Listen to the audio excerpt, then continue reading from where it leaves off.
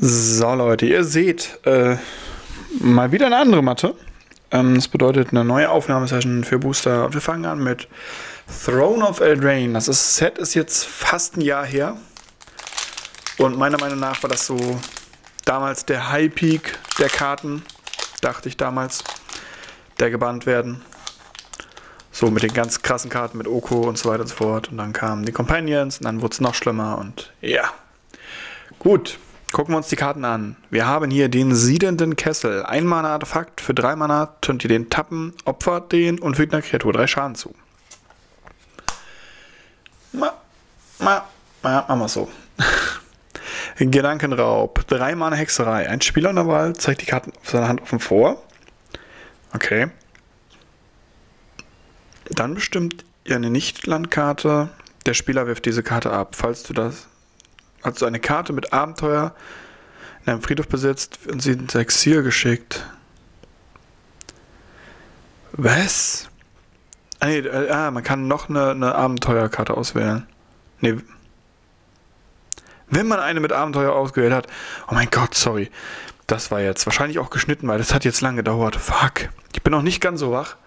Ähm, das merkt man auch. Also ich merke das ganz, ganz hart gerade. Dann haben wir idyllisches Gehöft gehöft, die deutschen Namen.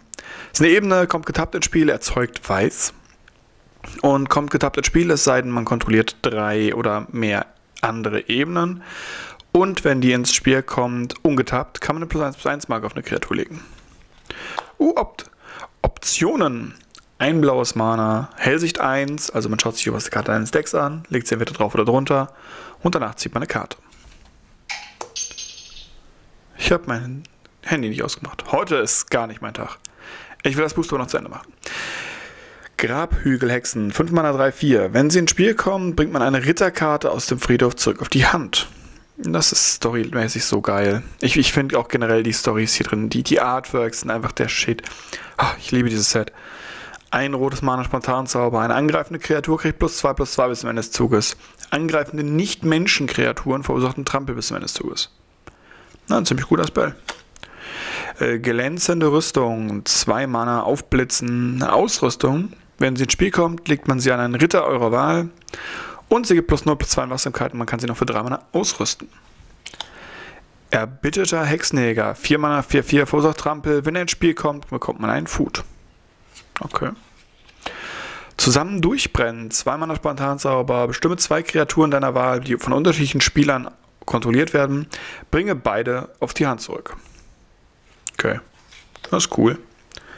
Was haben wir denn hier? Eichenheim Widersacher. 4 Mana 2, 3.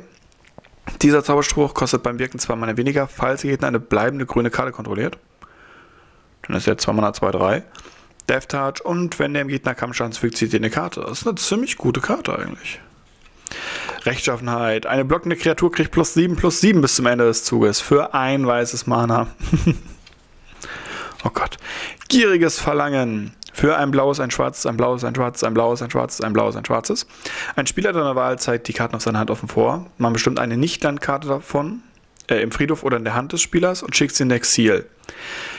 Man kann die Karte dann wirken aus dem Exil und man kann Mana beliebiger Farbe dafür ausgeben. Und von Feen gestohlen. Aha.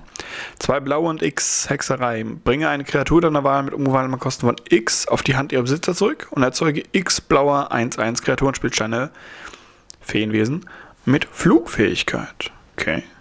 So, eine Ebene. Uh, ein Wildschwein, Wildschwein.